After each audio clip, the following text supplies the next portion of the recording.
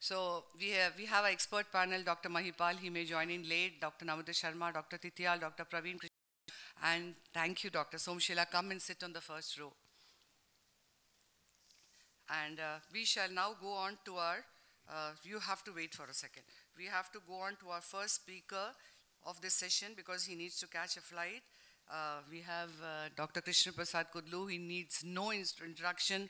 Uh, most popular and dynamic national figure in ophthalmology and member scientific committee.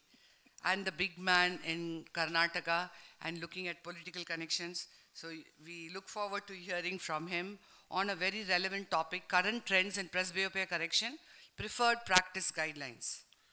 Thank you, Chitra Madam, for a wonderful introduction. I think uh, it's a pleasure to be part of uh, ARC program, and this time, Madam has really made a history to get the fantastic programs from ARC. As a scientific committee mem member, we are very much uh, proud and also feel jealous that Madam has done such a wonderful program.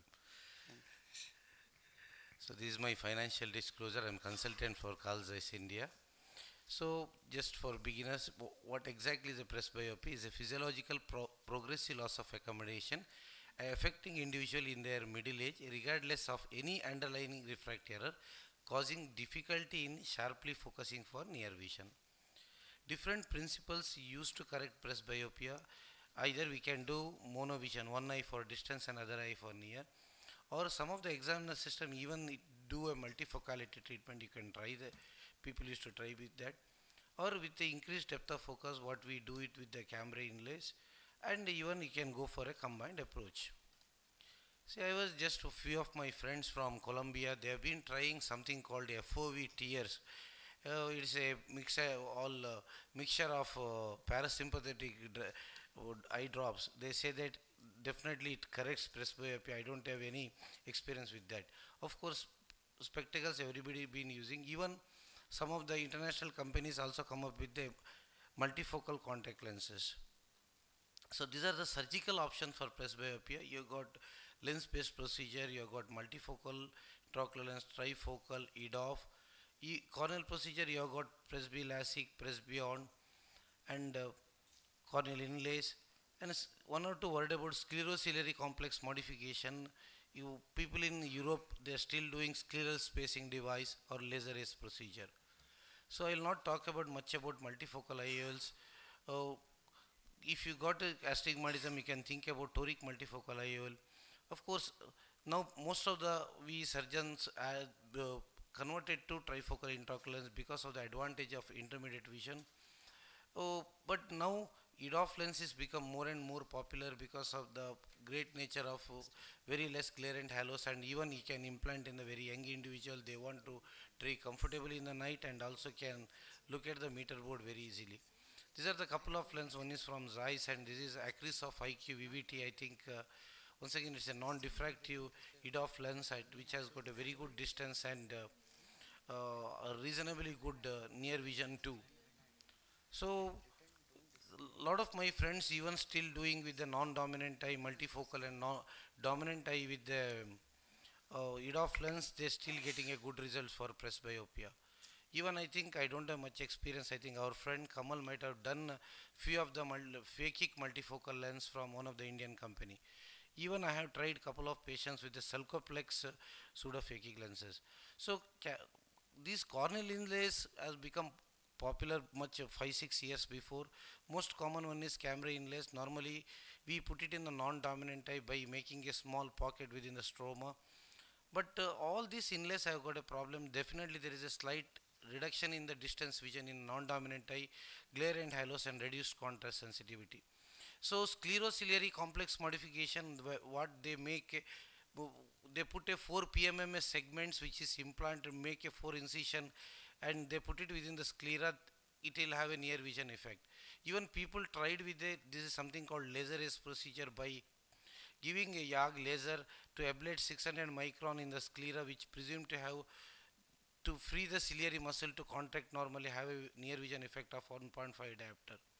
So let me come to the laser options. I think Presby LASIK was 10 years before a lot of people are done. It's a multifocal LASIK treatment based induces spherical aberration but uh, normally they had a good near and uh, intermediate vision but the problem is initial compromise of the distance vision A lot of pe- people take up to 3 months to adopt this treatment it is a people dependent and also the patient complained about uh, near vision so coming to the Supracor some of my friends in India been doing this with the help of uh, excimer system Technolas 217 from Bausch and Lomb. Unlike monovision, which one eye is treated for distance and other eye treated for near, here each eye has has to treat for both for distance and near. There is something different in Supracor. So how it works? Actually, it makes the use of central near peripheral distance concept wherein during the natural accommodation, when I focus on the near object, the pupil constrict and I looks it through the near elevation. But when eye is looking at a distance, pupil dilate allows the peripheral rays to pass through the aspheric optimized periphery to improve the distance vision. But basically hyperopic treatment, a lot of require retreatment yet to become more and more data with that. So Presbyond I've been doing last 12 years, uh, excellent results. Basic important is refraction, dominant eye testing. I myself being a doctor, I do.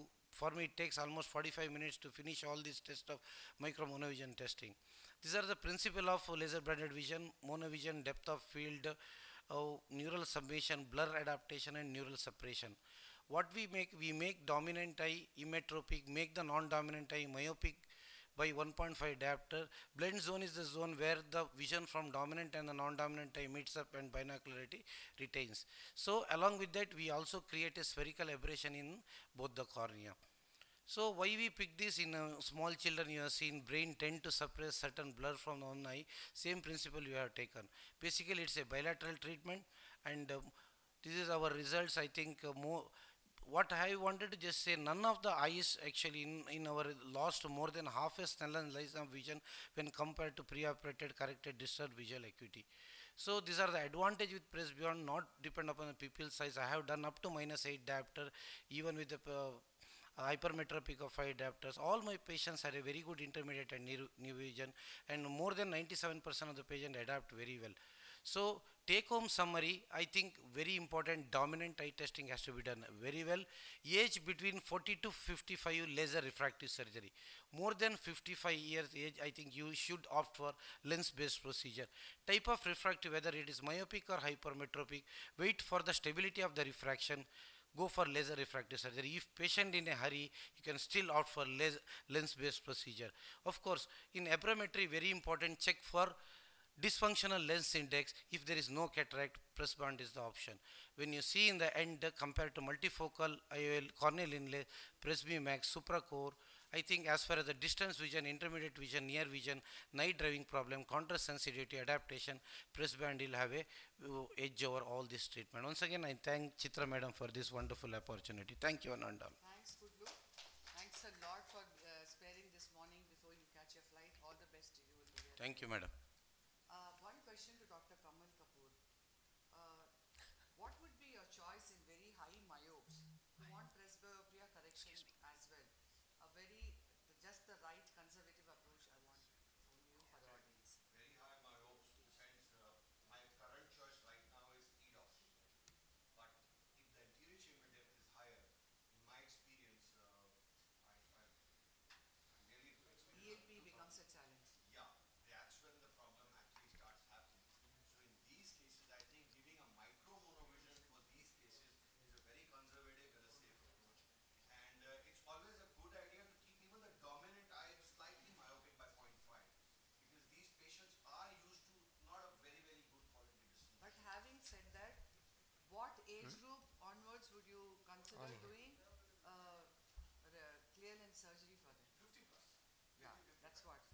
that's the message I want to the audience that let us not get aggressive with the younger lot because there is a eight times chances of getting a retinal detachment. And actually, if you do a, thorough examination, if have, they have already have a PVD, then it's even better. It gets even safer if you are planning it a year or two in advance. Just one question, uh, Dr. Kudlu sir, very nice presentation. Just wanted to ask a question. If you have operated on a patient for presby, uh, correction, like say Presbyond at the age of 40, now you have said you have had an experience of over 12 years. When they come back to you, say 10 years later, At that time, do you give them a near ride or now they are resigned to the fact that they would need a near ride? making a non-dominant eye micro monovision with a 1.5 along with creating a spherical aberration Yes. Yes. So that gives two diopters. 0.5 to 2.7 it will be throughout their life that much range is sufficient for Yes. Yes. one question just add if the patient develop cataract after 60 years 65 years what i do i put a non-aspheric lens in both the eye but for non-dominant eye i make oh, my 1.5 diopter less I put.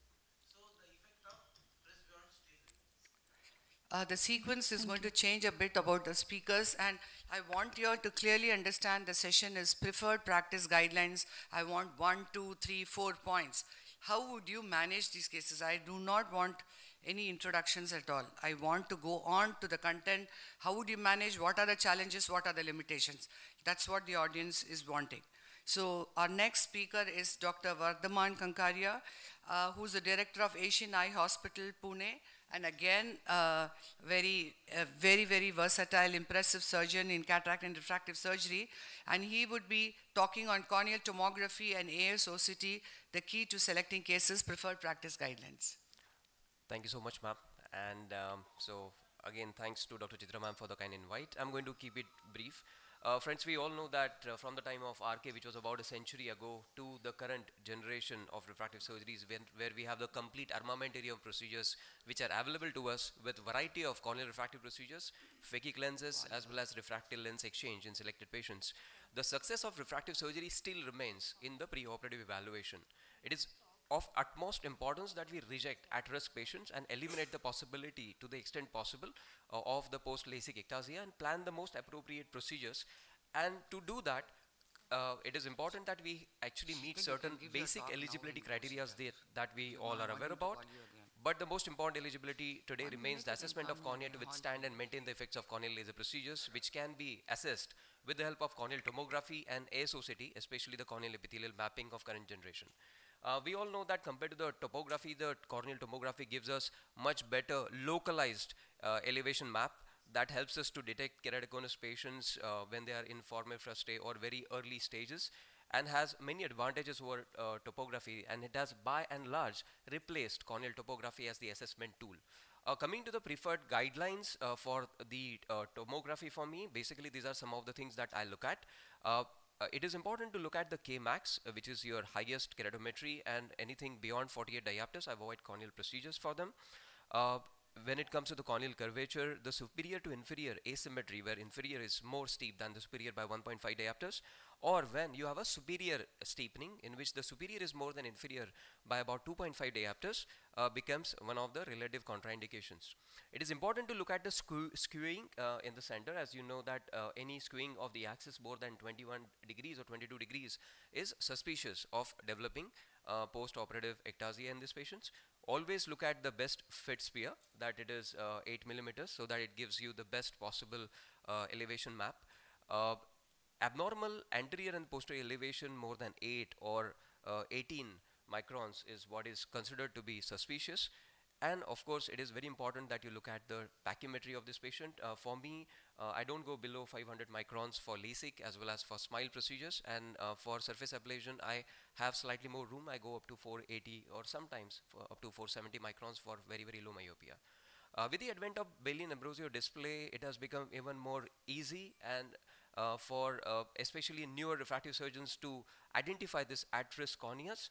And as you know, Belin Ambrosio display has uh, the regular elevation map, the uh, basically what is called as the enhanced display in which you are actually removing the central three millimeters of the elevation and then you are getting a difference map. And it actually tells you like a idiot-proof uh, system where it is uh, at risk or it is not, if you look at just the color codes of the system. On the right side, you're looking at the corneal uh, thickness uh, spatial variations where we already know that the cornea is thickest in the center and it is, uh, it is thinnest in the center, it becomes much thicker in the periphery and there is a gradual, uh, there is a gradual uh, uh, graduation of this thickness entity and you can see that there is a standard deviation. So as long as your line is within that standard deviation, we are looking at a very normal scan. But whenever you feel that this is actually deviating from the standard deviation, you have to be suspicious. Again now with the help of the BAD-D uh, scores, it has become very easy for us to know which are the corneas which are at risk. The golden rules or the preferred practice patterns for me for whenever I see a abnormal uh, pentacam, I do not exclude them immediately. I take three captures with good quality and consider the median uh, as the median image. Uh, I then I try to exclude the false positive and false negative by looking at variety of the factors that we have seen and especially now also including the epithelial maps. Whenever the topographic astigmatism is less than 1 diopters, uh, you have a patient with large angle kappa, there is a misalignment when you have captured the image, or there is an enantiomorphism. These are some of the things that can help you to dismiss the issue with the uh, skewing of the axis. So if I have uh, one abnormality which is moderate, uh, if I have no risk factors at all, then of course uh, surface ablation, SMILE as well as uh, LASIK procedure, all three of them are possible. Even if I see one uh, mild to moderate abnormality in the scan and it is a low myopia, then I always go with the advanced surface ablation. And my, um, my uh, let us say, criteria for SMILE and LASIK remains the same. So I don't uh, do SMILE for patients where I would not do a LASIK. And of course, wherever you have a two or more uh, moderate or one high abnormality, you should avoid any kind of corneal laser procedure. So you can look at this scan. So basically this is a very flat cornea where you would actually avoid a microkeratome LASIK and my procedure in such patients will be SMILE, which is a flapless procedure. Now this is a patient uh, who is hyperopic. In hyperopic patients, I do prefer to perform a topo-guided femtoLASIK such as Contoura. Again, this is a patient where you can see a very nice symmetric bow tie and high astigmatism of 2.50 diopters.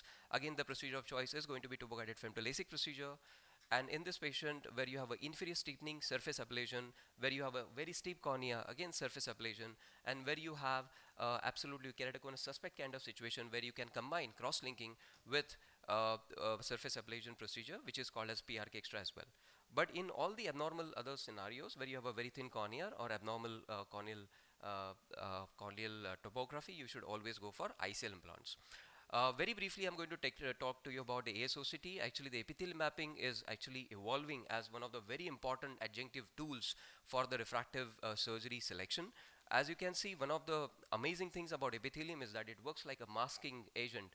So in the early keratoconus, you will see that when there is early ectasia which is developing inferiorly, but you will still see that the epithelium is actually becoming thinner. Therefore, your tomography will still come normal. However, when the keratoconus increases, the epithelium will become thinner and thinner, and actually that is when your tomography as well as the epithelial mapping will become abnormal. Uh, studies by Reinstein et al. have shown that the epithelium is actually uh, thicker uh, in the superior versus in the inferior quadrant. And uh, in the keratoconus, it has an annular pattern where you actually have a very thin epithelium in the center. Can I just take a minute more, ma'am? Yeah, thank you uh, and it has the annular ring around it where it becomes thicker and thicker. And as the progression of keratoconus increases, you will see actually the thinnest uh, epithelial uh, uh, uh area is becoming thinner and thinner and the annular air, uh, area is becoming actually much thicker. Now let's look at this example where you have a truncated bow tie here and actually the cornea looks otherwise completely normal but if you look at the epithelial scan you will see that at the level of the, this truncated uh, bow tie, you have a very thin epithelium. So this actually becomes a suspect keratoconus and we should avoid doing a corneal refractive surgery on them. Otherwise, looking at only tomography, we would have actually gone ahead to do a refractive procedure. Against that, as you can see, there is a clear inferior steepening. However, if you look at the epithelial thickness, the epithelium is actually much thicker in that area. So actually here uh, is the role where it is uh, abnormal tomography but uh, which is actually shown to be a completely normal scan by the adjunct of epithelium. Uh, the epithelial scan also helps us to differentiate between keratoconus and contact lens related warpage. As we have seen, if it is a keratoconus, you will have the thinnest point, which is coincidental with the Kmax, uh, area of the Kmax. But when it is a contact lens warpage, in fact, the corneal epithelium will be much thicker there. And the last slide is about this very nice study, which is published by Randan, uh, Randleman. Uh, they have looked at the epithelial maps and they have seen in how many patients the refractive surgeon had to change their procedure of choice or completely exclude these uh, patients from getting a refractive surgery looking at the epithelial map as against what they had decided before and they have seen that in almost 30% of the patients their decisions have changed looking at the epithelial map therefore patients who were actually uh, were not considered to be at risk uh, they were actually uh, somebody who were keratoconus suspect and the patients who were actually considered to be normal, they turn out to have uh, keratoconus uh, suspect features.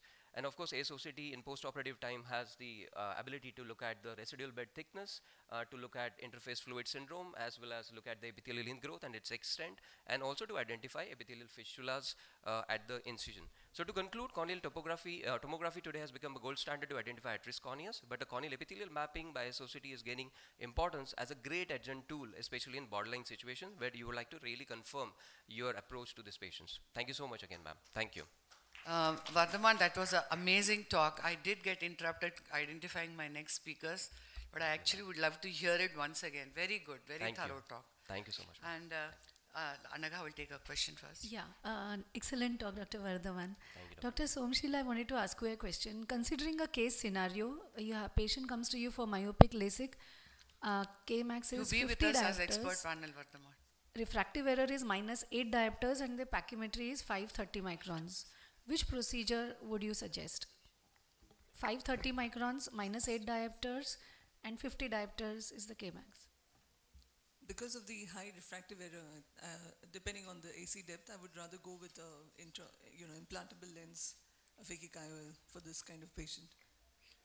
If there's an 8 diopters where you have a reasonably good uh, RST and the pentacam is normal.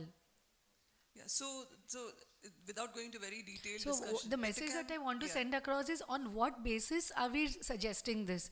What would be the risk factors if you go ahead with LASIK? Considering that the RST PTA is all normal. what was the issue? The that. issue is that the keratometry is 50 diopters. Oh, And so 50. 50 diopters No. is the extreme edge of No, no. uh, Because the visual quality gets distorted if you do that, so you should not get flatter than 34, you should not get steeper than 48. to the this is not going to be flatter than 34. No, no, in It's a general, minus, I'm just no, no, I'm saying for this specific case, it's a 50 diopter with a minus 8 myopia with a good RS uh, pachymetry where you're going to have a good residual stromal bed. You're within the confines of a good PTA. So why would you still go in for a phakic IOL? It's not even more than 10 diopters, it's 8 diopters. So the message that I want to send across is what is the basis that you would uh, ask for a phakic IOL compared to a LASIK? Actually, she's myopia, we are flattening the cornea, no, Somshila. So her logic is you're not steepening it, you're flattening it. So uh, how do you believe it's going to compromise? Earlier days we're using microkeratome LASIK. That would be a surgical complication is expected in steep corneas. But this is going to get flatter. I didn't hear a question, only now I heard it. So, so she I- wants the answer can, why can you would somebody say that. somebody please give me a specific answer to this question? So I'll just complete and, and of course I think we are on the same on the same Yeah, team. Yes, please. yes. Uh, So my answer to this is that uh, Pentacam or what the the preferred practice guidelines are Yes. what should help you and guide you here. Yes. As just as per preferred practice guidelines, that keratometry is definitely out of range for what you as per the practice preferred practice guidelines. So you can make exceptions. So Yeah. without going to so, Eh, so yeah. if I want to sit on a podium and say what are the preferred practice guidelines, so this is beyond the preferred practice guidelines. So we have to keep the patient in front of us and make a decision on case to case basis. But if I have this patient, finances is not an issue and the A- A- AC depth is good, I have a patient who's going to follow up. My preferred practice for this patient would be a phakic IOL. People may disagree. Sir, Yes. please, your opinion. Please, can you give me the uh, logical, scientific explanation behind this decision? First of all, I'd like to know the age of the patient. 50, if it's 30 Not year 50, old. sir. No, no, uh, 30 fif- years. fif- ah, yeah, so if it's a 30 years. year old person with a 50 uh, keratometry, maybe he doesn't have anything as yet, number one. Number two, the optical quality, the visual quality, when you start flattening the cornea for 8 diopters, is definitely going to be different than what the person has been used to with the, the Q values the patient has. The optical quality, I've done MTF studies on my patients for high. So as a standard practice, in my practice, any dioptric power more than 6.5, I am going for phakic IOLs. So, but That's here we are not practice. flattening it less than 34. Definitely, there are going to be co- aspherical aberrations Absolutely. in any kind of refractive, corneal based refractive procedures, That's whether it answer. is 6 or 8. Now, suppose it was 6 diopters. Would you go in for LASIK? Yeah, maybe, maybe. Sir, That- suppose it was that's 6 protocol diopters. have set. That's a Suppose it was 6 diopters with a 50 diopter um, keratometry. think, Would you uh, go in for the- LASIK? the- It's, uh, we we are not getting the answer. We'll go on to the next question because just a minute less than that. The other thing is, if, in relevance to epithelial thickness mapping, if the epithelial thickness mapping is showing hyperplasia, Dr. Somshila, And uh, would you, uh, and the patient has come for an enhancement. Uh, Yeah. So would you want to do serial maps to look for stability before you enhance this patient? Yeah. Or would you do it as a two-stage procedure? Would you just do a PTK, look whether that has taken care of the residual refractive error, and later consider doing a PRK? So again, we, if, you know, we're blurring the preferred practice guidelines. I think Vardhaman Yes, brought yes. in ASOCT and that was his Yes, topic. yes. But I would just like to first clarify that ASOCT is not a must-have in this, at this point of time for preferred practice to decide or not decide on refractive surgery. But it helps us in making those decisions, especially to detect posterior keratoconus, which you can see it better on the ASOCT, or to detect how much is epithelium playing a role. And of course, as you pointed out, in terms of uh, refractive error which comes back, so is it residual, uh, is it uh, progression, or is it ectasia? So the epithelial mapping definitely has a very important role to play. So if we have to serially epithelial map and don't decide on just based on one map because it could be just for that point in time, depending on the, the drying of the eye and many other variables. Once you have reliable map which serially you've seen is the same, then uh, there are two choices. You could go in with directly with uh, the enhancement because that's what the patient is for. Uh, I wouldn't uh, do a PTK and then go ahead. When I'm very sure that it's epithelium contributing to the refractive error, I would go ahead and then correct the residual refractive error or the induced. There are more uh, uh, relevant questions for discussions here, but I think I think one or speakers may not turn up. So, hello, Dr. Dhami. I'm nice seeing you. Very happy to see you.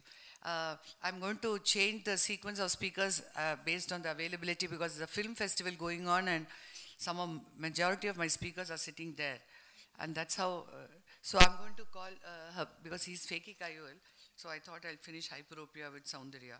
So I'm going to uh, inviting my next speaker, Dr. Soundarya, who's a uh, young consultant cataract, uh, cataract and refractive surgeon from the Eye Foundation group of hospitals and an amazing speaker and a very talented girl. And she would be talking on hyperopic corrections, options and precautions, preferred practice guidelines. On to you, Soundarya. Thank you, Dr. Chitra ma'am, for this opportunity. Um, so I'm going to be talking about the options and precautions for hyperopic correction. So as we know, hyperopia is not as common as myopia, where 30% of the population are myopic in our country, only 3% are hyperopics. So one thing that we need to know before going into this is classifying the hyperopia to decide what kind of treatment would be appropriate for each. So we have the low hyperopia less than 2 diopters, then 2 to 4 diopters, and more than 4 diopters. So uh, the basics of treating hyperopia, the main thing is to aim at a stable refraction and topography before proceeding as with any laser refractive uh, procedures. And again, the age of treatment more than 18 years and not progressive. One thing we need to remember is as the patient uh, becomes, patients become older, their accommodation goes down. So we need to keep that in mind and explain it to the patient as well. And they often have concomitant astigmatism, so that also has to be taken care of. So one thing, uh, another main important thing is the uh, thorough cycloplegic refraction that has to be done with homatropine before proceeding with the uh, cases because the problem with hyperopic correction is more of an undercorrection than the regression that happens. So and we need to correct the maximal acceptance and correct only if the difference between the acceptance and the cycloplegic values is less than one diopter.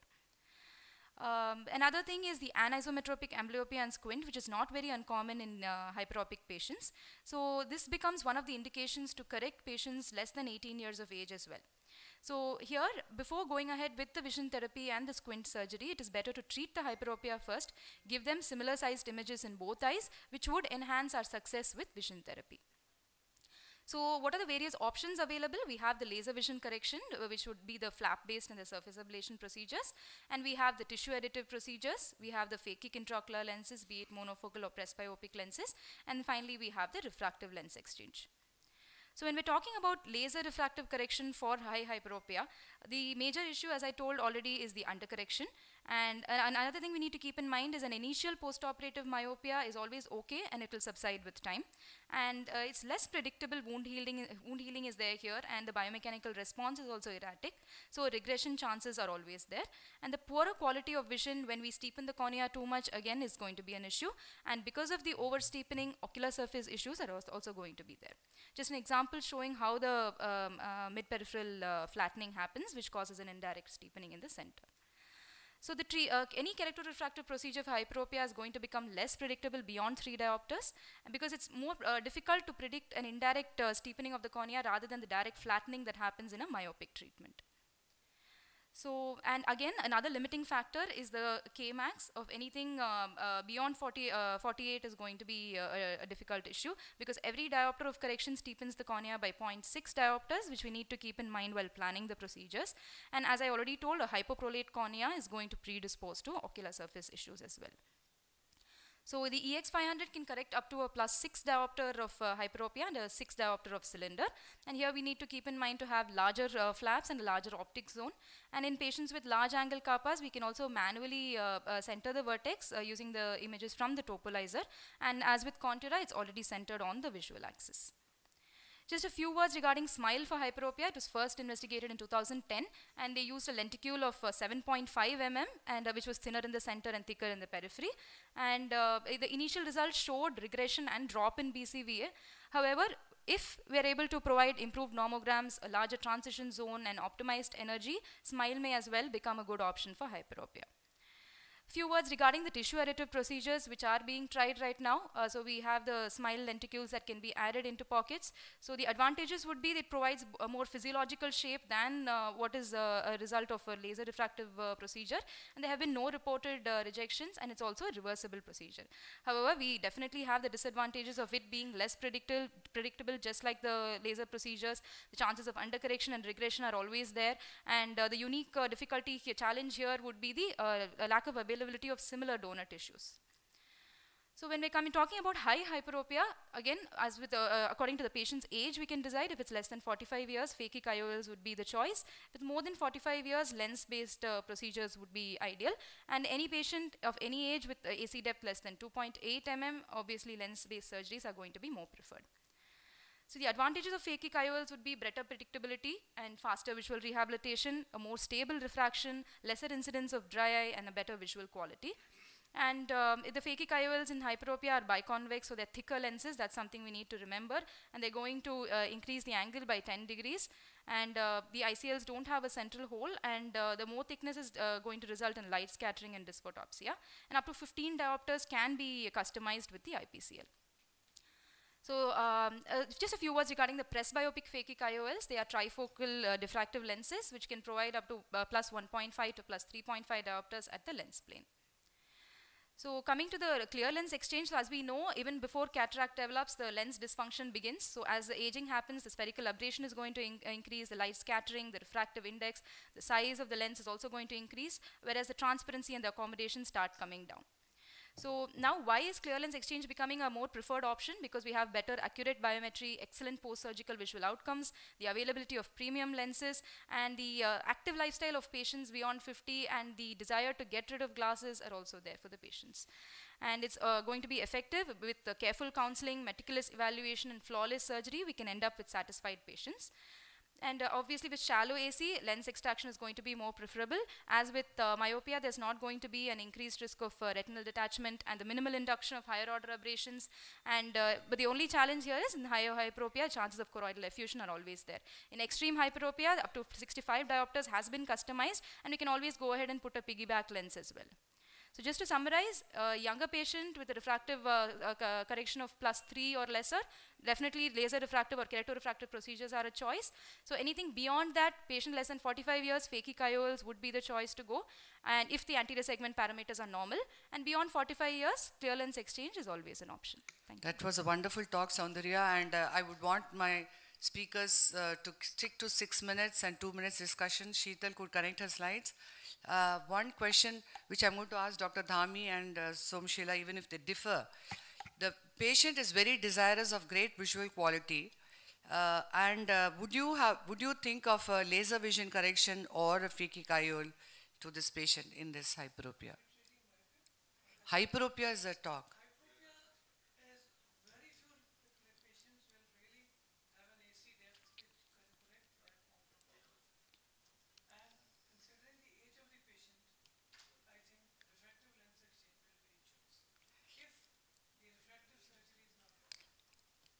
What do you have to say, Sri Ganesh?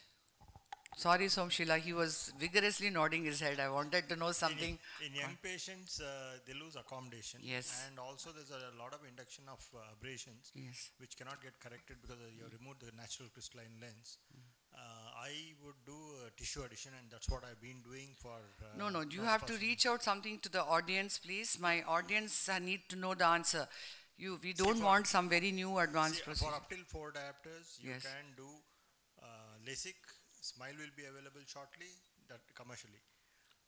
But those who have access to Smile can do tissue addition. Uh, you know, uh, Yeah. Shreyas has done. Yeah, yeah, I agree. But smile, everybody is not No, happening because we can't, see, we have to send the mes- uh, right messages between, at this. between four to nine diopters, okay, there is no uh, corneal procedure right now except Yes. tissue addition. And that works beautifully. Patient can still maintain their accommodation. We have a eight-year follow-up. Patient's doing very well. Refractive lensectomy for a very young patient, not very desirable. Young patient. If they are over 45, then it's okay. You can do it. Okay, I'm going on to the next speaker. If there is time, we have a lot of questions we'll discuss, but because we started a bit late, Dr. Sheetal, introduce. Uh, we have Dr. Sheetal, who's a senior consultant uh, cataract and refractive surgery from Nethradhama group of hospitals based in uh, Bangalore. And uh, as you saw her walking with her award, there's probably three to four or five awards she gets every year in, in national and international uh, conferences. And kudos to her, and we are really enlightened to have her with us. And she is going to tell us on bringing out the evading risk factors, ectasia post-refractive surgery, preferred practice guidelines. Thank you so much, ma'am. Good morning, everyone. Uh, thanks for the invitation to participate in this wonderful session. So I'll be talking about uh, ectasia post-refractive surgery and we will also have a current outlook on screening and management options. So as refractive surgeons, our biggest fear is always post-operative ectasia and uh, this still remains one of the most significant complications of uh, corneal refractive surgeries. Now some of the risk factors are already known to us such as uh, preoperative high myopia or hyperopia, thin corneas, abnormal topography, eye rubbing, pregnancy, hormonal imbalancing, uh, imbalances. However, some of the uh, risk factors are still not known and uh, we will see what they could be.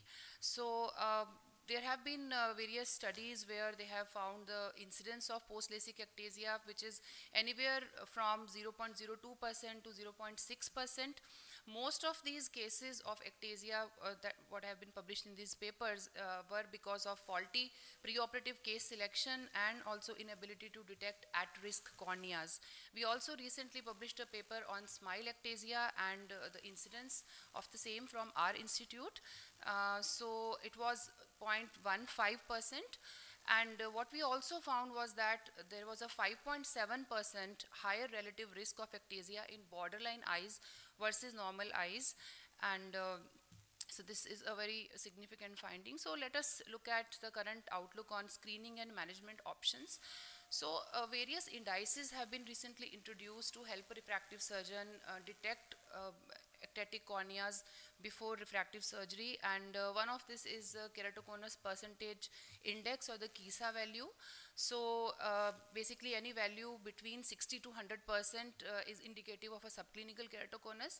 Then uh, Randleman ectasia risk scoring system is a very popular scoring system wherein uh, they have used various parameters such as topographic patterns, residual bed thickness, age, corneal thickness, and uh, MRSE, and it gives you a collective score of uh, risk.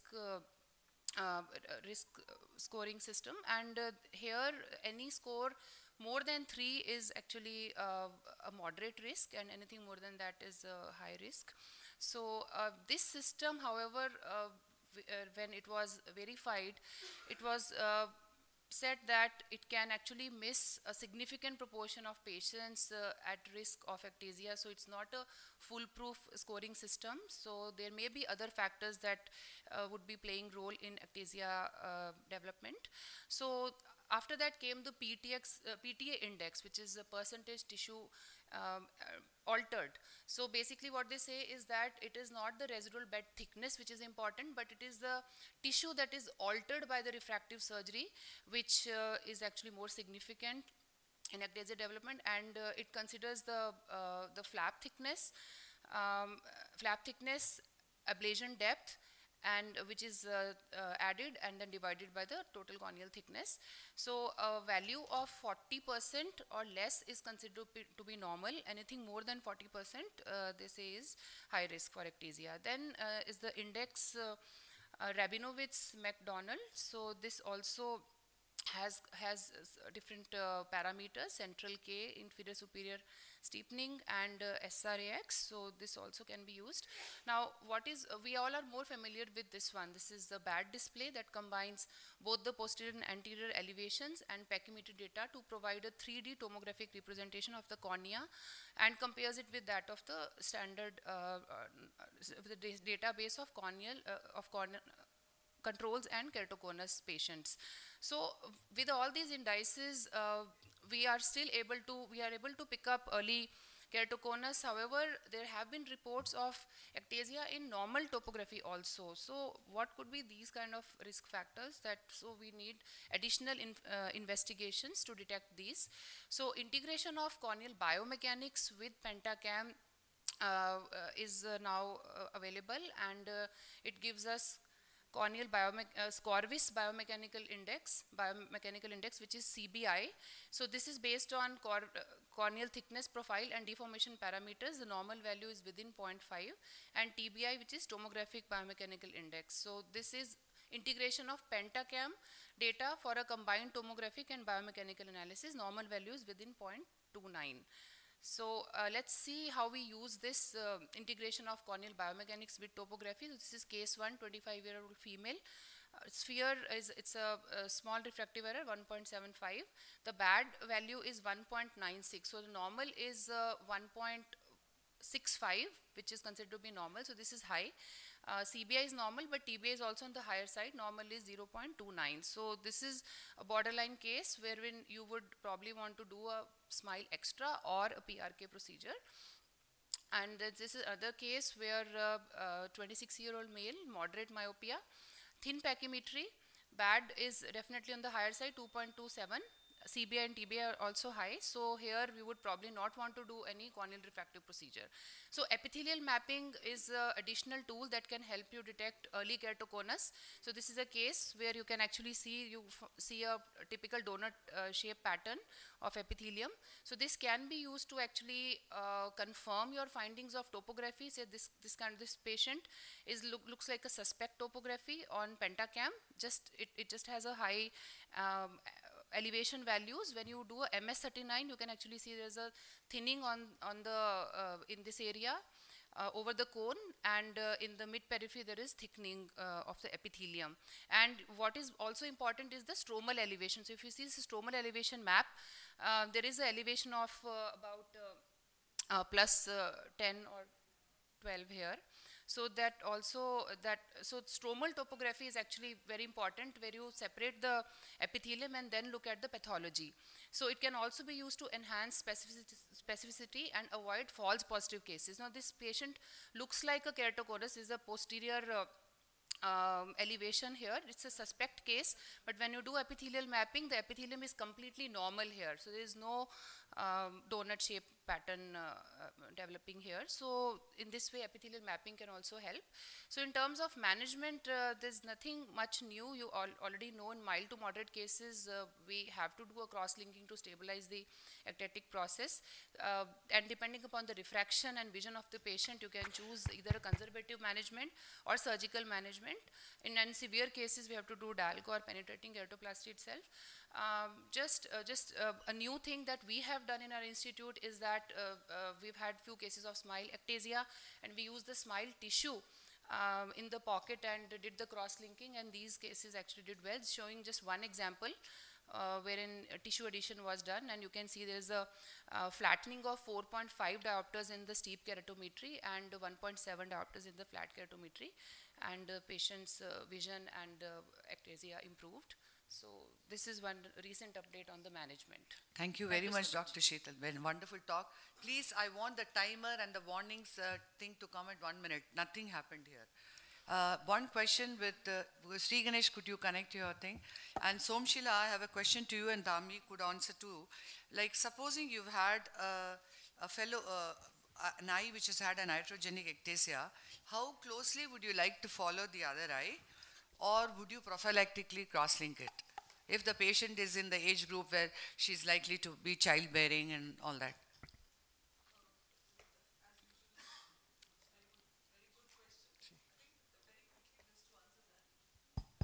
I would say that uh, depending on the fellow eye vision, the fellow eye vision is extremely good. So I might just wait on it. Uh, it's not, and we've had patients, it's not necessary that both eyes will continue to, uh, you know, progress. So you crosslink the eye which is obviously progressed and with the poor vision, and or maybe you do with the crosslink with the intact, so whatever is the preferred practice that you want to go with. But the other eye, you do, depending on the vision, if the patient has good vision, not And at least we could send the patient with very strict instructions not to rub their eyes and uh, uh, come very frequently for follow-up, especially if they are likely to get pregnant or any of those issues because uh, hormonal changes can be a trigger. Again, there's no guideline here. So some patients you might just cross-link both eyes. Okay. Uh, there is more questions, but I think uh, we'll go on to the speakers. Uh, introduce Sri Ganesh. Yeah, I would like, he doesn't need any introduction, so I think his words speak more than his introduction. No, no, no. No, all said and done. We owe to him. He's the chairman and managing director of the Nethradhama Group of Hospitals, a pioneer in refractive surgery, doing refractive surgery for more than 20 years, Sri Ganesh, or less? 25, 25. 25 years. And then he's the top man for Smile and authority and comes up with so many innovative procedures. We are truly enlightened to have Sri Ganesh here. That's why I was on phone calls all through trying to get these people here on time. On to you, Sri Ganesh. Thank you, Dr. Chitra, for inviting me to this preferred practice guideline course. And uh, good morning, dear friends. I'll just go through what are the preferred practices for SMILE because this is a new procedure. And uh, sorry, I am a consultant to Carl Zeiss uh, Meditec. So let us start with pre-op preparation. Before taking the patient into the OR, do not use anesthetic drops uh, or betadine because it alters the tear film, loosens the epithelium and there's an increased risk of black spots. Also, if there is a high cylinder, more than 1.5, you should mark the 0180 degree for uh, correction of uh, astigmatism before uh, taking the patient up and positioning under the laser.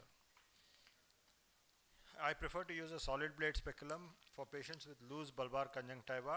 Otherwise, Sit the in the conjunctiva can prolapse and uh, block the laser, uh, and also there is an increased risk of suction loss. After draping and inserting the speculum, observe for pooling of fluids and soak the excess fluid with a sponge. Otherwise, it increases the risk of suction loss. Proper head positioning is very important so that the gantry does not touch the nose. Elevate the chin and turn the face in the opposite direction, especially in patients with prominent nose. Do not touch the undersurface of the contact glass because stains may interfere with laser delivery and give rise to black spots. Coming to docking and uh, centration, this is a very important uh, step. Position the patient's eye by moving the Visumax bed on the 500. Now with the 800, the laser arm moves so that the visual axis is exactly in the center where the patient's eye meet the contact lens. is a fixation, green fixation light which the patient can see. There are also concentric circles on the ocular reticule which can kind of help you to center uh, and center the tear meniscus and see that it is uniform. Applanate the cornea very slowly and ask the patient to look at the green fixation light. For smaller cones, up, applanate up to 80% and then you can put on the suction. For medium cone, you'll have to hard, have a hard dock and applanate almost 100%. Once centration is ensured, then only you activate the suction. Wait until the suction develops. You can see this with the red, uh, with the blue LED lights and at least four sections of the blue LED light should um, get activated. Then you can recheck the pupil centration using the infrared light. That's the strength of the suction. I told you four segments on blue LED, and then you also on the 500 you have an acoustic signal saying that suction on, ready, and then you can activate the laser with the foot switch. Uh, so when the uh, uh, when the eye is under suction, minimize background noise. Instruct the patient to remain calm, not to move or squeeze. Explain that the green light will uh, disappear as the laser um, fires and you give them a countdown normally it's about 25 seconds with the 500 and about 8 seconds with the 800 so this is a video basically uh, I'm using the joystick to bring the bed up ask the patient to look at the green fixation light and um, you can see that uh, once I, you center you can look at the meniscus there as you applanate and about 80% of the meniscus and then you can put on the suction. So the, what you have to watch for is impending suction loss. This is characterized by leak of fluid uh, and uh, darkening of the white area surrounding uh, the eye and escape of bubbles. And if this happens, better not to proceed with the laser treatment. Don't press the foot special. You, uh, you can release the vacuum, dry out the fornices with a uh, sponge and uh, clean the undersurface of the contact lens with a wet sponge. Immediately redock. Consider replacing the contact glass if it cannot be cleaned properly. And once the eye is redocked, remaining steps of the laser delivery can be completed. This is a case where with a large angle kappa you can see that it appears uh, decentered to the pupil but actually it's on the visual axis. Uh, patient had an angle kappa of about 7 so you can see that with the infrared the pupil center and the line of sight is different. This is almost a you can see that uh, there is quite a difference. So here with the Visumax basically you center on the visual axis. Cyclotorsion compensation is very important. Uh, if the cylinder is more than one diopter, 1.5, definitely it is needed. You mark the 0 180 degree on the cornea with an infrared transmitting dye. Uh, you can use the viscode dye. You develop your own nomograms uh, for astigmatism de uh, depending upon the results. We use a 15% overcorrection for with the rule astigmatism and use a large larger optical zone for treating high cylinder. Usually we use 6.5 and uh, this is the cyclotorsion compensation. After you dock, you can hold the cone and you can see that if the marks are away from the 0180, then you rotate it. You can make out the 0180 on your reticule or on the screen. And this is something that we published in the JRS and our results and then this became a preferred practice guideline by ZEISS for correction of astigmatism. Energy optimization is very important and it has to be done so that there is no OBL and the uniform bubble layer is obtained. And for most Visumax lasers, this can be achieved between a fluence level of 24 to 40, corresponding to an energy of 120 to 200 nanojoules. This is the ideal bubble pattern. You can see there is no OBL and it's very uniform.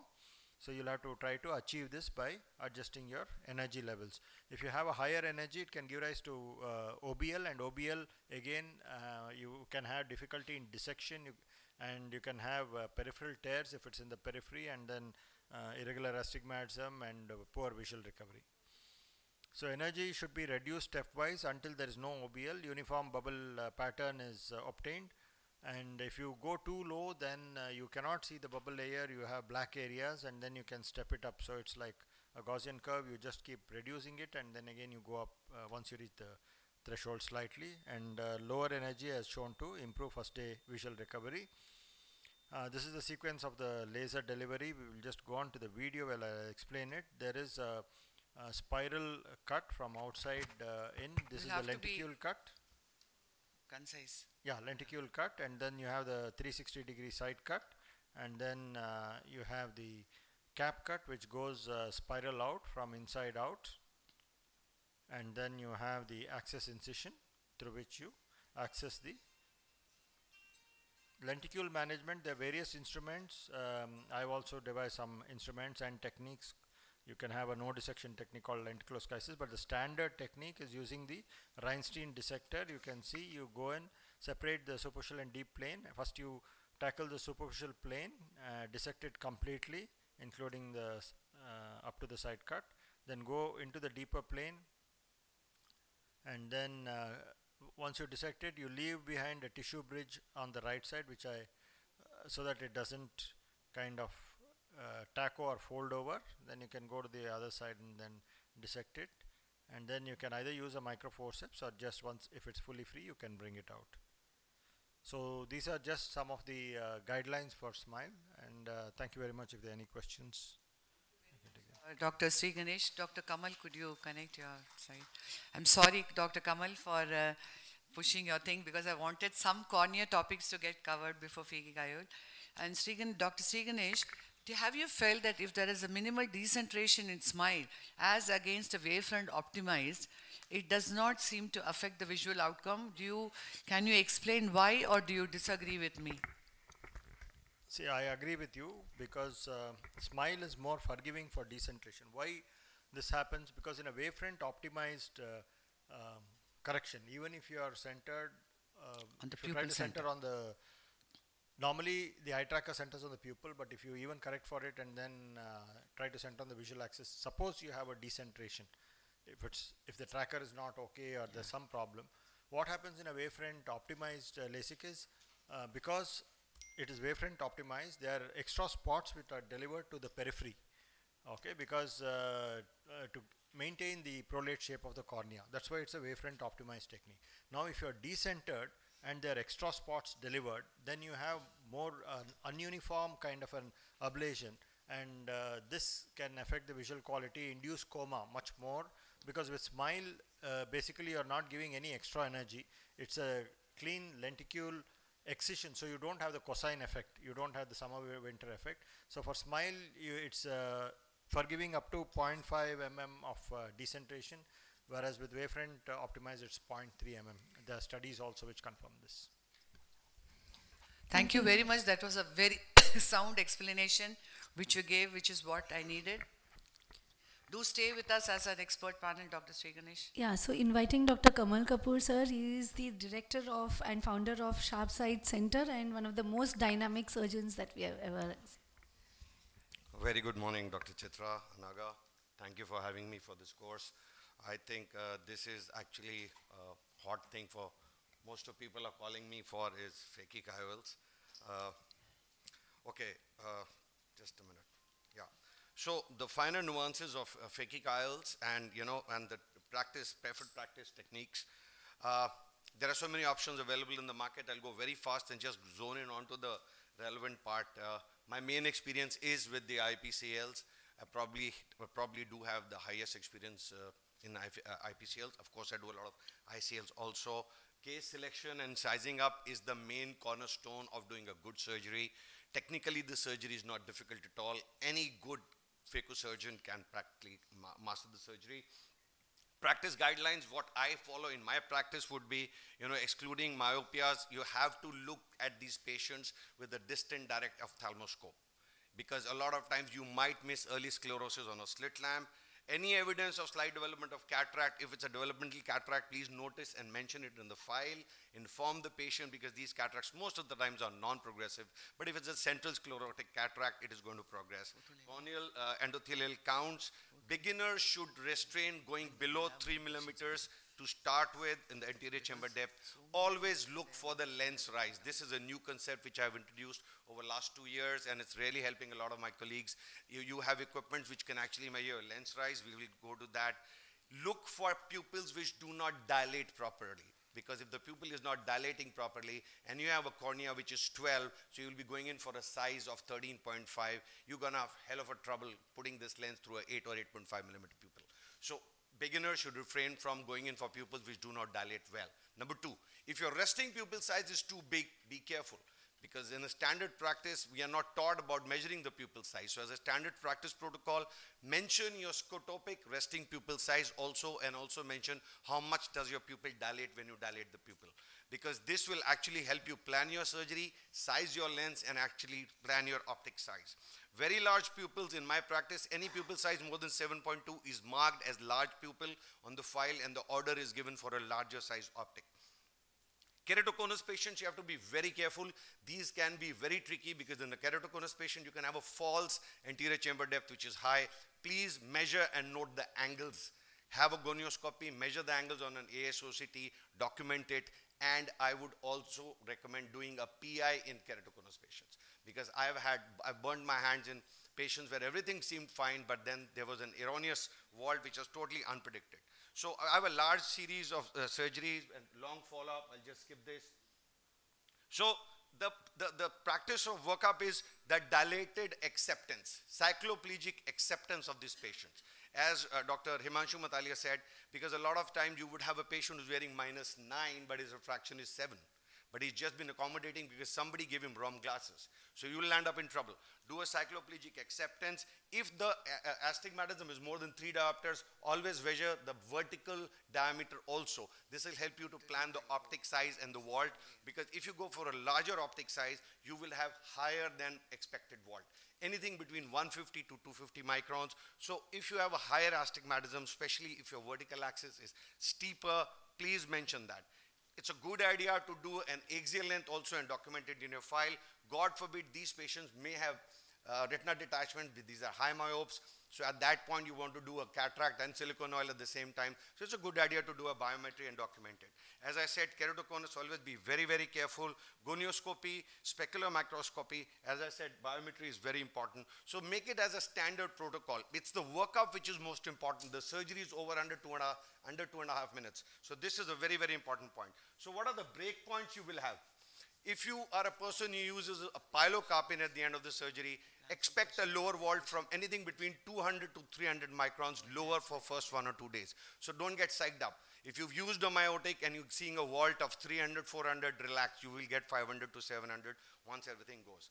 Look for IOP rise within first few hours of the surgery. This is a standard protocol I recommend to all my friends because especially if you're a beginner surgeon, you might end up leaving some viscoelastic there and you'll have a pressure spike within first few hours. So if you see this patient, put the patient on slit lamp, put a little bit of paracaine after a few hours and use the needle to burp from the side port. If you see any opacity in the retro, retro uh, uh, lens area, don't be alarmed, especially within first few weeks. This is not cataract, this is retained viscoelastic. All you need to do is do an ASOCT, find out what it is.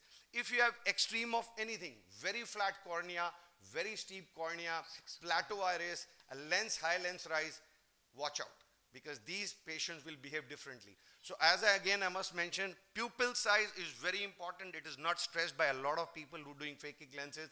My long track record I've realized pupil size plays a huge role in your patient satisfaction. So, uh, time over? Okay, fair enough. No, anything to add, conclude, you could conclude because you know it's Okay, so the, there are two major options. You have 0.25 decimal size variations in the IPCL. You have 0.5 in the ICL.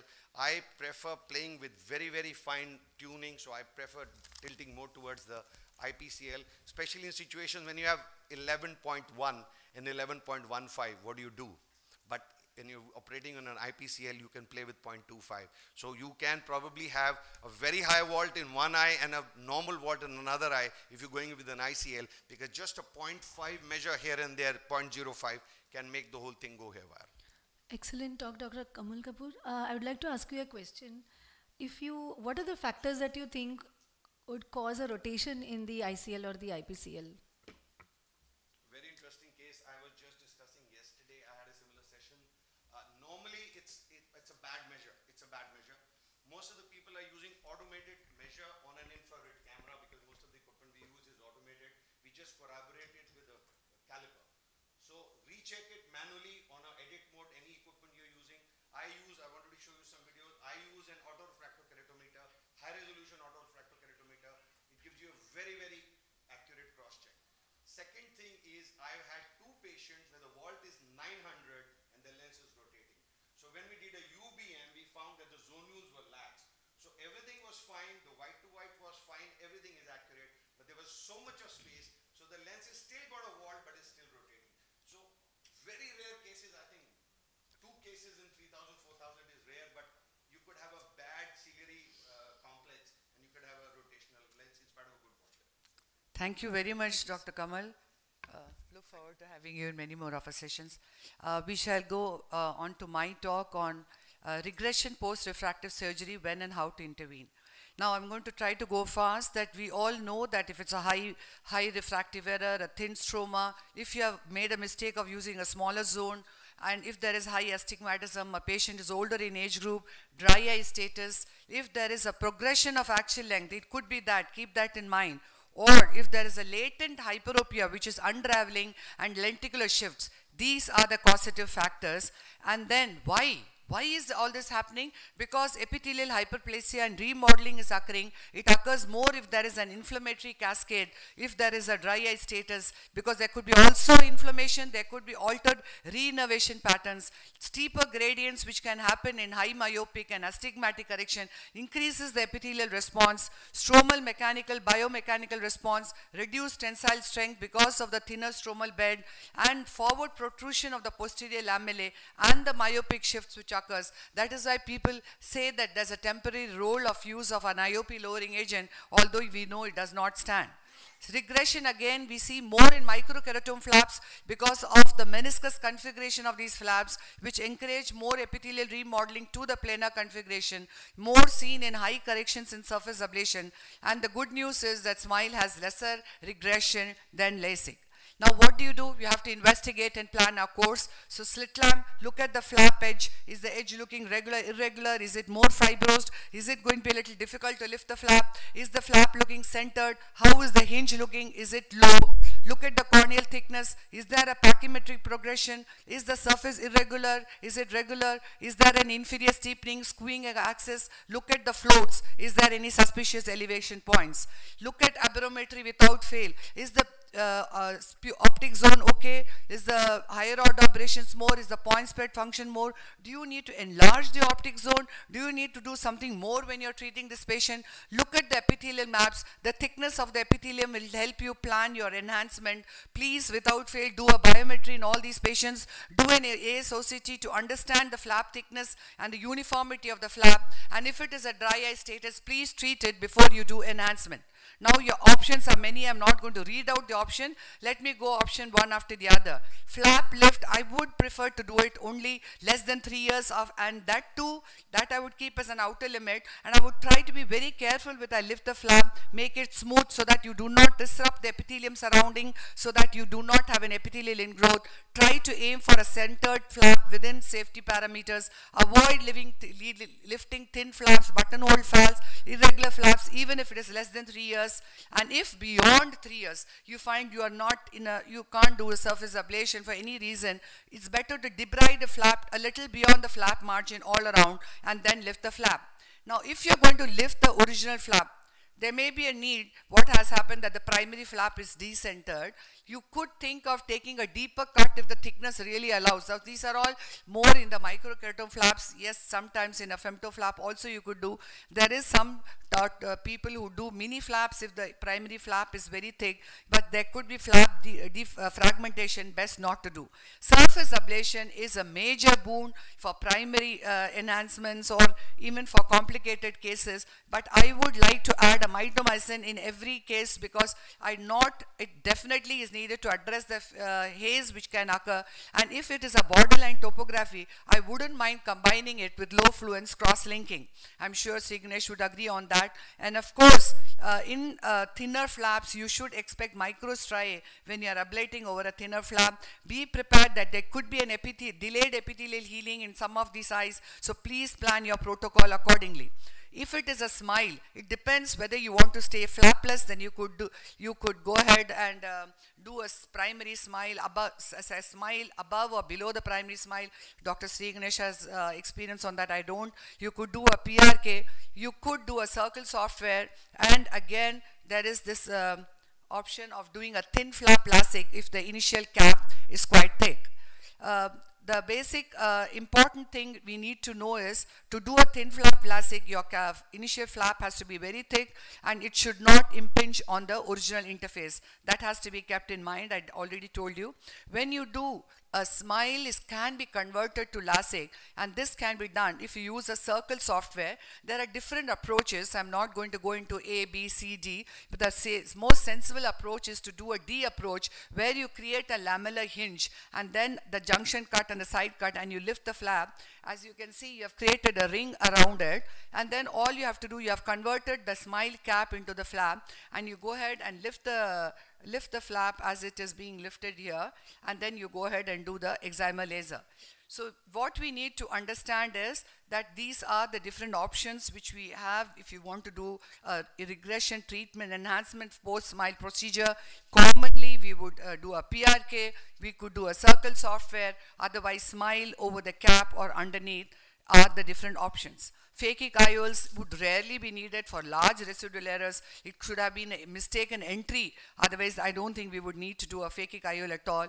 As far as the complications is concerned, let's remember all the primary complications can occur. You should anticipate epithelial ingrowth. You should anticipate haze. You should anticipate ectasia. You should anticipate DLK and rarer occurrence of infection and increased dry eye status has to be countered.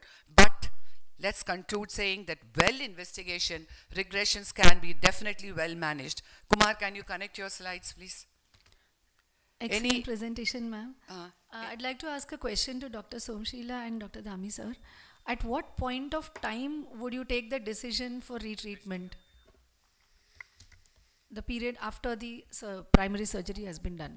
So, as you mentioned that if it is obviously an error, error erroneous enter, en- entering the No, suppose there is no error, you have treated perfectly and you are seeing regression. So, at what point of time would you diagnose it? At what point of time would you treat, take the decision of So, treatment? so if it's LASIK, pretty much by the end of one week, I know that uh, there is, uh, you know, So, how would you differentiate between under correction and regression? No, she's asking a very valid question.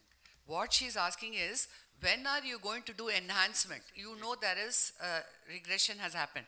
What so did we you need say? to differentiate b- yeah, for the so benefit you of the audience. Uh, we need to have these are basic questions. I understand, but I Yeah, just so- wanted some so more I'll clarity. just try to just answer that very briefly. Yeah. So when we, we're using the term, what we mean is let's make it broader and say residual refractive error or a refractive error after the refractive surgical procedure. Yes. So it depends on the duration, depends on the cause. As we mentioned, incorrect entry can happen very rare.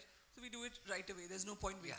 Uh, unless it's PRK, then you need to wait. But then if it is uh, the if it's regression, as in it comes in later, it comes in at six months, or the patient comes back to you at the end of one year, and you see that it's stable. So you might have a couple of visits for the patient to make sure it's stable. You assess and see that it is not uh, sort of an ectasia, and if it's epithelial thickness, that still needs to be corrected. So to answer that, it, we can't have a short answer. Depends on when has uh, the, the refractive error reappeared and what is the cause of it. So those two, and it would have to be decided case to case. Uh, also, so many factors, like there could be an accommodation by the patient. You have to remove those uh, uh, reasons of, yeah, those issues, exactly. Yeah. And you would want the topography and the refraction to be totally stabilized. And definitely the minimum wait should be three months post-refractive surgery procedure before you consider taking up. And yeah, and the options, of course, whether you're doing to do a PRK or a flap lift comes based on all that I said. Yes. We, So Kumar wanted to say something. No, we should do Kumar because I think we have to hand over the hall. Kumar has come running. Uh, I would like to invite Dr. Kumar Doctor, who is the director of the Kumar Eye Institute, Dr. Kumar Eye Institute at Mumbai, and again a cataract refractive surgeon with a pioneer in refractive surgery and uh, a lot, lot more. On to you, Kumar. Uh, thank you. Uh, I'm just going to show one case, uh, a decentered femtoflap. So you can see it's beautifully decentered. The hinge is in the middle of the pupil and I managed to even bleed the conjunctiva. So why did this happen? We'll discuss later. But if this happens, what to do is what I'm going to show. So it can happen. It is just basically this was a very old video, must be about nine years back. My initial femto cases, uh, that's bottom line here is to understand the technology that we buy. And if that gets a slip somewhere, this can happen. So in case this happens, we have two options. One is to do a recut the same day, but my inexperience made me wait that time. And I let the patient go home and then call back. These bubbles, I, I don't know how many of you know, that these bubbles disappear in 45 minutes. You won't see anything there at all. And you know where your hinge is. So very important in this case is to know what was your targeted flap depth. And those times we were not having so much of corneal OCT. But today's era of corneal OCT, we will actually know exactly.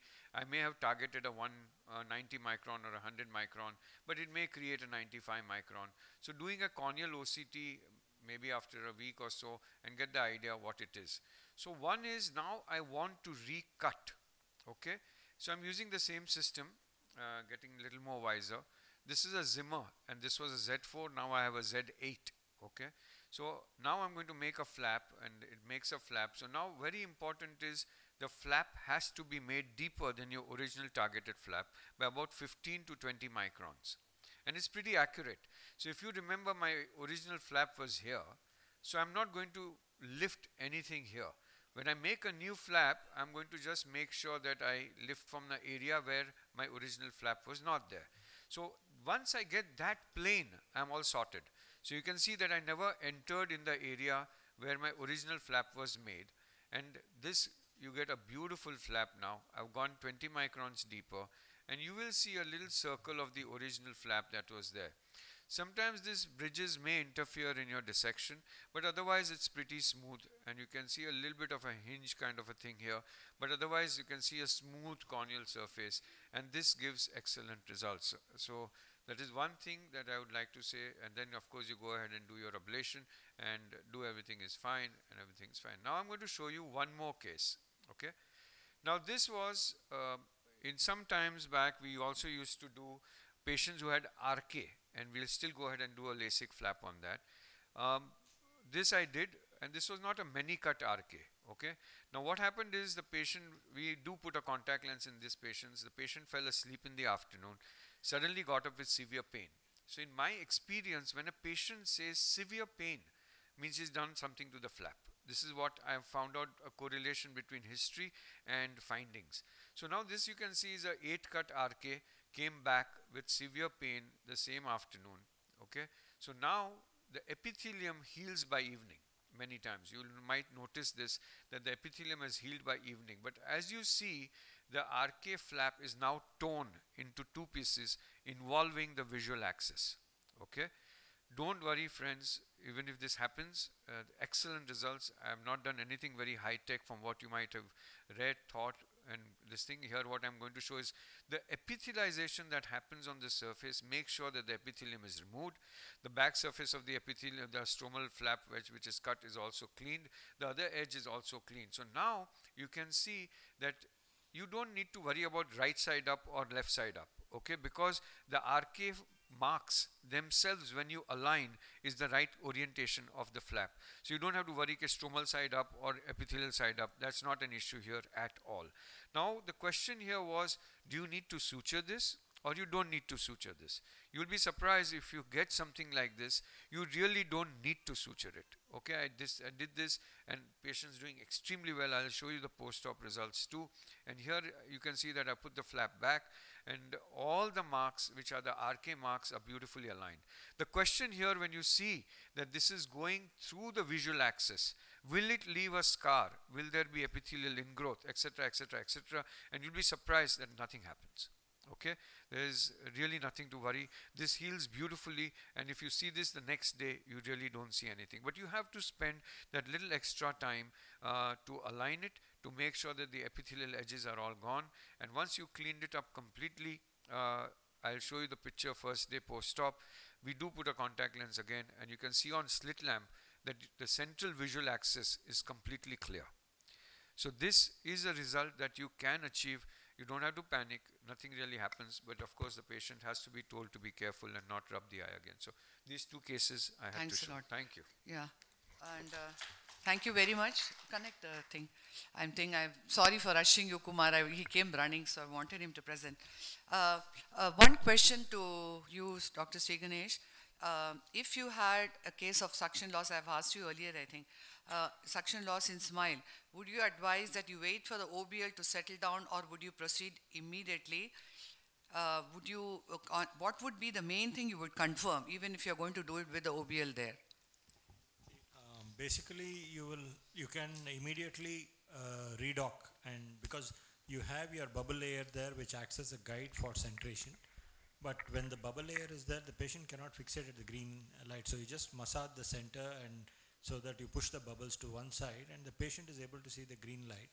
And then you have your circles in the reticule which you can kind of correspond to concentrically to the uh, bubble pattern and then redock. If you have any um, black spots in the center, then you then should wait. you should yeah then you do not do smile either you Yes. wait postpone and then you can do a smile at a, d- a deeper uh, level Yes. or you can do surface ablation Thank you very much. Uh, Gaurav would have to talk in five minutes, and he, uh, he need no, needs no introduction. He's the chairman of the Dehradun uh, Drishti Eye Hospital, and he's going to be talking on DLK and CTK. What do we know till date? Preferred practice guidelines. One, two, three, like that. You give your points. Sure. So uh, I think uh, we've all, uh, all those of us who do refractive surgery, we've probably all dealt with uh, at least the DLK and some of us with the CTK. So DLK is basically a non-infectious inflammation localized to the flap interface uh, following refractive surgery and it's also commonly known as the sands of Sahara syndrome. The initial reported incidence used to be 2 to 4 percent. We might be seeing it much, much less now because we've understood all the reasons why uh, DLK used to happen, but we still occasionally would get to see a grade 1 DLK and unfortunately sometimes even a more severe one. So the etiology of DLK when we started doing refractive surgery used to be thought to be RBCs in the interface, fibers, uh, uh, uh, secretions, uh, glove talc, and that's why we went on. Uh, most LASIK surgeons used to operate without gloves in the beginning, and now that we have excellent quality uh, talcless gloves, so microkeratome oil was implicated right when we started off in the 90s, and even marker pens. so the risk factors also for predisposition for DLK could be corneal abrasions, microkeratome-induced epithelial defects, recurrent erosion syndromes and iritis, viral keratoconjunctivitis or a past history of one, allergies, and contact lens wearers. So these people have to be more careful when uh, looking for possibility of getting a DLK. Also maybe even enhancements uh, when they are done on the flap, uh, they can also be another cause for getting DLK, even in a smile interface. So the pathogenesis has been thought to be recruitment of the PMN leukocytes to the stromal interface and it usually develops one to two days following refractive surgery and typically resolves within five to eight days uh, with treatment. The initial symptoms may be pain and photophobia, redness and blurring of vision, and uh, foreign body sensation. And a stage 1 DLK would start in the periphery, going on to a stage 2 DLK where there may be central involvement. And then a stage 3 DLK where is more aggregation of dense white and clump cells in the visual axis. And then going on to scarring and even a hyperopic shift with irregular astigmatism. This may necessitate in the stage 4 a flap lift and interventions as well. And usually it's best to intervene early as well so that uh, if you are having a, a, DLK which is progressive and more severe. CTK in, uh, in contrast is a non-inflammatory opacification of the stromal bed and uh, can be seen after LASIK, PRK or uh, even CXL and even SMILE and uh, CTK or central toxic keratopathy is rarely associated with AC reactions, conjunctival hyperemia or ciliary flush and some of the misnomers and it's been thought to be confused with stage 4 DLK as well. But this typically develops a little later uh, than typical DLK and by the third or fourth day. The incidence is very, very less as compared to what we might know for DLK, so a 0.016%. I've had only one case in 20 years, uh, but it was enough to kind of, uh, you know, teach you everything about it. So the pathogenesis seems to be almost similar. Uh, interface debris, uh, all the same things have been thought. Nobody really knows why CTK may happen, but uh, it, it's a toxic reaction to some substance and photoactivation by the laser. So here is how they kind of compare to each other. DLK will usually be diffuse and CTK is more dense and focal. It's like a coin-shaped lesion right, right in the middle of the cornea. And uh, no striae in DLK, but uh, CTK almost always comes with striae. DLK will have no refractive change mostly, but uh, later on it can develop, whereas in CTK you will uh, usually uh, see a hyperopic shift which will happen and it takes a long time to go away. And CTK does not respond to steroids, whereas DLK will respond to steroids. And DLK resolves much faster on treatment, whereas CTK does not really respond. It just takes its own time and you can't do much about it. So these are the symptoms, similar symptoms, photophobia, floaters, pain, halos, hyperopic shift, fallen vision is usually the first thing that the patient presents with and this is how it looks on the diagnosis on slit lamp examination and the OCT. Uh, a pentacam will be quite fallacious and typically what you see is under the flap you'll see the stromal, anterior stromal involvement going sometimes even much deeper and uh, frankly pentacam may show, I'll try to show a few slides which when I had my CTK case. So differential diagnosis is with uh, DLK, PISC and uh, infectious keratitis and post-PRK haze. And uh, DLK treatment, I think most of us understand. Stage 1 topical steroids. Stage 2, we might add topical and oral steroids. Uh, stage 3, we would have to go into a flap lift and irrigate and along with steroids. And then stage 4 requires much more aggressive intervention. And these are how the three things uh, differ in management, DLK, PISC and CTK. CTK, as you see at the bottom, is only observation. You should not uh, elevate the flap uh, really whereas uh, DLK will respond to steroids and PISC you will discontinue the steroids and start anti-glaucoma medication.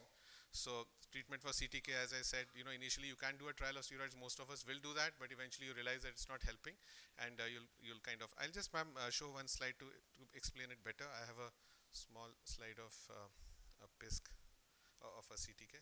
So. It's, it's there. I'll just show it in 30 seconds. So this is one patient whom I operated uh, during AIOS as it always happens. Whenever I'm in the AIOS meeting, it always ends up having something going on while I'm away. My CTK, my DLKs have happened when I've traveled. So 26 years old male PG uh, student underwent un, un, uh, thing, uneventful uh, femtoLASIK on the IFS 150 and uh, was doing extremely well on day one and suddenly when I'm here three days later, four days later, he calls up saying that there's a sudden fall, uh, reports to our clinic, vision is down to 624, the pressures are normal and this is how it looks. So this is what I wanted to show you, how it looked. And uh, frankly, this patient after six, seven years has visited me only like two weeks back. He's now six, six unaided. He was so unhappy. He was on uh, dietary supplements. He was on, um, you know, and this is what I wanted to show on OCT, how it might look. And on Pentacam, you'll actually sometimes confuse it with ectasia. So be very careful. Pentacam is very fallacious. Uh, you know, it can give you wrong informations because the Scheimpflug imaging cannot go deep enough to look at this. And frankly, this is all I wanted to show. This is what the OCTs will look like. This is the stromal inflammation. We managed it initially with steroids and then later on pulled off the steroids. Took three months for him to come to about 6'9 with a small plus 0.75 correction. Very dissatisfied to begin with. But over a year, he settled down to almost 6'6 vision and we didn't have to really do much. Thank you very much, Gaurav. Lot of explanation. Just one, two question we conclude because I have to start my next one. Uh, in DLK in SMILE, and in uh, FemtoFlap, do you notice any difference in the presentation? Dr. Sri Ganesh, uh, Somshila or Dhami, any thought you have? Basically, uh, with Femto, it's more in the periphery. Mm -hmm. We see this and they can have more light sensitivity. It's uh, more common in the high energy uh, lasers, mm -hmm. like the earlier IntraLase, which was 50 hertz. But now with the higher speed lasers, high frequency lasers, it is less common.